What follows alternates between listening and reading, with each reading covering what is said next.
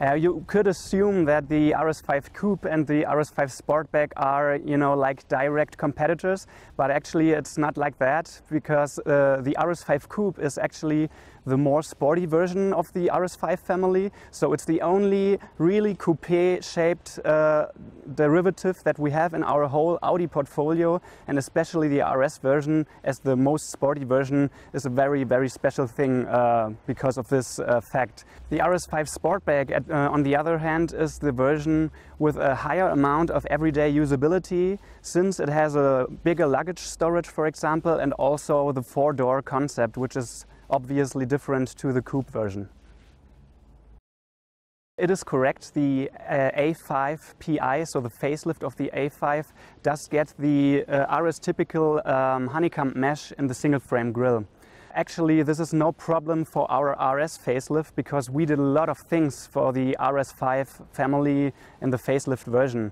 Because not only did we add a lot of new design features uh, with the RS5 PI, we really modified the front, the rear and also the side view of the car since it is all new parts. We also have a completely different single frame grille compared to the uh, A5 since it is wider and also lower compared to the uh, base model.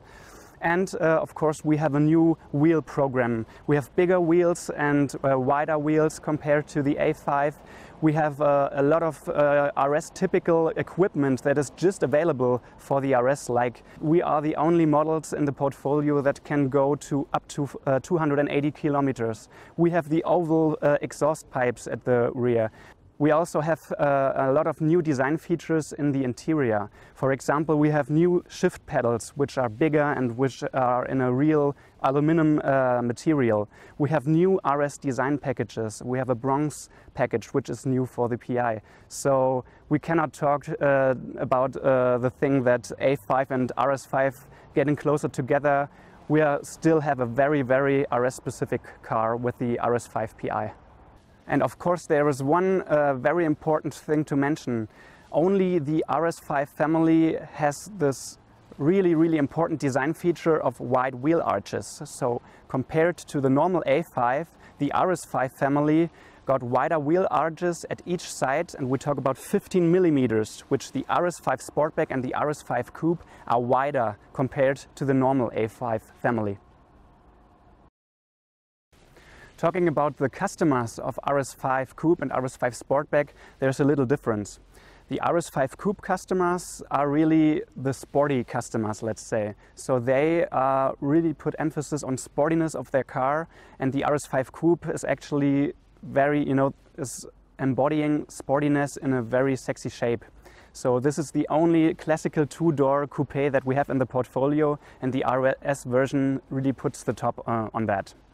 The RS5 Sportback, on the other hand, uh, is also very sporty, obviously, but we target uh, more customers that are classically in the area of sedans or limousines. So those customers put higher emphasis on everyday usability, and with the RS5 Sportback, we are really fitting those customer needs for everyday usability. So talking about the um, equipment highlights of the RS5 PI, we uh, of course did a lot of things uh, with a facelift. One thing uh, which is really new uh, with the RS5 facelift is the Style Paket Bronze. So this Style Paket features a new designed 20 inch wheel with bronze mesh. And we also added some new design features in the interior. We have new shift pedals, which are made of real uh, aluminum. We have a new RS design package with gray stitches inside, putting a real uh, nice new sportiness into uh, the car. And we have some new RS uh, monitors and displays uh, that we've added for the RS facelift.